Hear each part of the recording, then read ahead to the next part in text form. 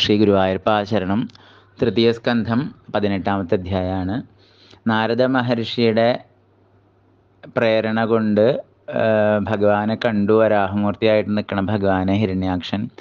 എടാ കാട്ടുപന്നി നീയാണോടാ നാരായണമൂർത്തി മുഖത്ത് നോക്കി ഓർക്ക വിളിച്ചു. ഭഗവാന് സന്തോഷമായി വിളി കേട്ടപ്പോൾ ഒരു കളങ്കല്ല വിളിയിലെ ഒരു കള്ളത്തരല്ല നമ്മളെ പല ഉള്ളിലൊന്ന് വെച്ച് പുറമേക്ക് വേറൊന്ന് പറയുന്ന സ്വഭാവമല്ല ഹിരണ്യാക്ഷന്റെ. ഉള്ളതുള്ളത് പോലെ തുറന്ന് പറയും. ഭഗവാൻ ഇഷ്ടമായി അത് പറഞ്ഞു. അപ്പം ഭഗവാൻ പറഞ്ഞു യുഷ്മദ്വിധോ ഗ്രാമസിംഹ. നിന്നെപ്പോലത്തെ നിന്നെ പോലത്തെ നിന്നെ പോലത്തെ ഗ്രാമസിംഹങ്ങളെ കൊല്ലാൻ വരുന്ന പന്നി തന്നെയാടാ ഞാനിങ്ങോട്ട് വാ എന്ന് പറഞ്ഞ്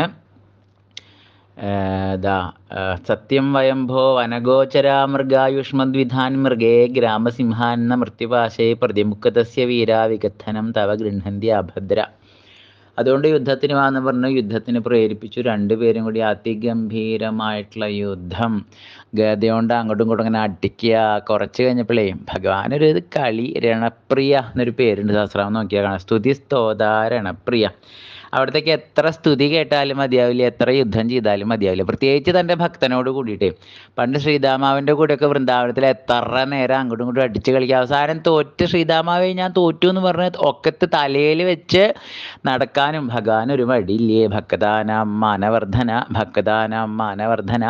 ഭക്തന്മാരെ എത്ര തലയെ കയറ്റി വെക്കാനും അവിടത്തേക്ക് ഒരു മടിയില്ല. കാരണം എന്താ? നസ്ഖലേൽ പതേൽ ഭക്തന്മാർക്ക് ഒരു അധപതനം വരില്ല വരുത്തില്ല ഭഗവാനെ.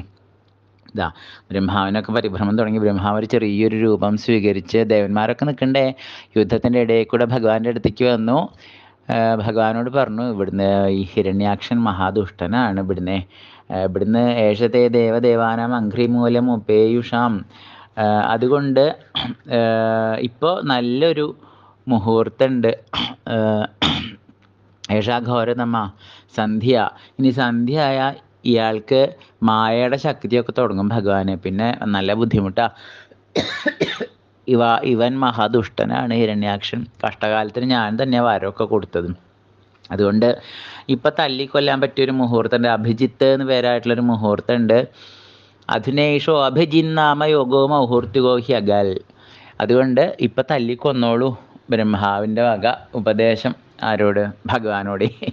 ഭഗവാനൊന്ന് നോക്കി പുഞ്ചിരിച്ചു. ബ്രഹ്മാവിനെ പറഞ്ഞു എന്നാ ശരി മായാബലുണ്ട് ഇവന് എന്ന് കേട്ടപ്പോൾ എന്നാ അവന്റെ മായാശക്തിയും കൂടി ഒന്ന് കാണാമെന്ന് വിചാരിച്ച് ഹിരണ്യാക്ഷന്റെ മായാശക്തി കാണാൻ സന്ധ്യ ആവണം അവരെ കാത്തു നിന്നേ സന്ധ്യ ആയപ്പോൾ തുടങ്ങിയില്ലേ? അവന്റെ മായാശക്തി. അനവധി ഹിരണ്യാക്ഷന്മാരുണ്ട് തോന്നുക ആകാശത്ത് കാണുക. കുജിൽ ഭൂമോ കുജിൽ വ്യോമിനി ഗിരിമൂർധിനി ജലേ കുജിൽ. പല സ്ഥലത്ത് മാറി മാറി കാണുക. ഭഗവാൻ തന്റെ സുദർശനത്തിന് നല്ലോണം വിചാരിച്ചു. സുദർശനം കൊണ്ട് അവന്റെ മായൊക്കെ ഇല്ലാണ്ടാക്കി അവനെ താഴത്ത് വന്ന് വരിപ്പിച്ചു വീണ്ടും താഴ്ത്തുന്ന യുദ്ധം. പിന്നെ ഗതയൊന്നും വേണ്ട. അവനെ കൊല. ഭഗവാന്റെ കയ്യിൽ നിന്ന് ഗത വീണുപോയി കൗമോദകി എന്നാണ് അവിടുത്തെ ഗതയുടെ പേര്. ഹിരണ്യാക്ഷന്റെ അടി കിട്ടിയിട്ട് ഭഗവാന്റെ കയ്യിൽ നിന്ന് ഗത വീണുപോയി ബ്രഹ്മാവൊക്കെ വല്ലാണ്ട് പരിഭ്രമിച്ചു. എന്താ അങ്ങനെ ചെയ്യാൻ? ഭഗവാനെ കൊണ്ടും പറ്റില്ലായിരിക്കും നീ ദുഷ്ടനെ കൊല്ലാൻ. തന്റെ ഏട്ടത്തെ കൈകൊണ്ട് കരേണ കർണമൂലെ അഹൻ. ഏട്ടത്തെ കൈകൊണ്ട് ഇതാ ഇയാളെ ഹിരണ്യാക്ഷനെ കൊന്നു എന്നൊക്കെയാണ് പറയാൻ പോണത് അടുത്ത അധ്യായത്തിൽ അപ്പോൾ നോക്കൂ ഭഗവാനൊക്കെ ഒരു തമാശ മാതിരിയാണ്. കാരണം അവിടുത്തേക്ക് അറിയാം ഒക്കെ അവിടുത്തെ മക്കളാണ് അല്ലേ? ഗുരുവായൂരപ്പന്റെ മക്കളല്ലാത്ത ആരാളെ ഇവിടെയൊക്കെ ഭഗവാന്റെ അടുത്ത് നിന്ന് വന്നതാണ് ഭഗവാൻ ബ്രഹ്മാവിനെ സൃഷ്ടിച്ചു. ബ്രഹ്മാവ് പല പല സ്ഥാവര ജംഗമ ജംഗമങ്ങൾ അടങ്ങുന്ന പ്രകൃതിയെ സൃഷ്ടിച്ചു. അപ്പോൾ എല്ലാറ്റിന്റെയും മാതാവായിട്ടും പിതാവായിട്ടും ഒക്കെ നിൽക്കുന്നത് ആരാ? നമ്മൾ വെറുതെയാണോ ചെല്ലണത്? ത്വമേവ മാതാ ച പിതാ ത്വമേവ ത്വമേവ ബന്ധുശ്ച സഖാ ത്വമേവ. നമ്മളത് അത്രത്തോളം അർത്ഥമായിട്ടല്ല ചെല്ലണത് ചാലും ശരിക്കത് അതാണ് സത്യേ. ഈ ലോകത്തിന്റെ മുഴുവൻ ജഗത പിതരവും ലോകത്തിന്റെ മുഴുവൻ അച്ഛനും അമ്മയും എല്ലാവരുമായിട്ട് ഗുരുനാഥനും സുഹൃത്തും ഭാര്യയും ഭർത്താവും പിതു സാക്ഷാൽ പിതു ഭർത്ത ഗതി എല്ലാമായിട്ട് ഭഗവത്ഗീതയിൽ പറയണു. ഭഗവാൻ തന്നെയാണ് പ്രകൃതിയുടെ മുഴുവൻ നമ്മളാകുന്ന ജീവന്മാരുടെ മുഴുവൻ അച്ഛനായിട്ടും അമ്മയായിട്ടും കൂട്ടുകാരനായിട്ടും ഗുരുനാഥനായിട്ടും ഒക്കെ ആയിട്ട് ഇരിക്കുന്നത് ഗുരുവായൂരപ്പൻ തന്നെയാണ്. ഇതാ അവൻ വീണ്ടും യുദ്ധം തുടങ്ങണോ തുടരണു. അപ്പോൾ ബ്രഹ്മാവ് പറഞ്ഞപ്പോൾ ഭഗവാന് തോന്നി ഇത്ര എന്നാ ശരി അവന്റെ മായയും കൂടി കണ്ടേക്കാം എന്ന് വിചാരിച്ചിട്ടാണ് സന്ധ്യാസമയം വരെ കാത്തുനിന്നത് കാത്തു അവിടുന്ന്. സന്ധ്യ ആയപ്പോൾ അവന്റെ മായാശക്തി ഒക്കെ കണ്ടു. ഇനി ഒന്നുമില്ല. അവന്റെ ഒക്കെ പുറത്തേക്ക് ഇടിപ്പിച്ചു അവനെ കൊണ്ട്.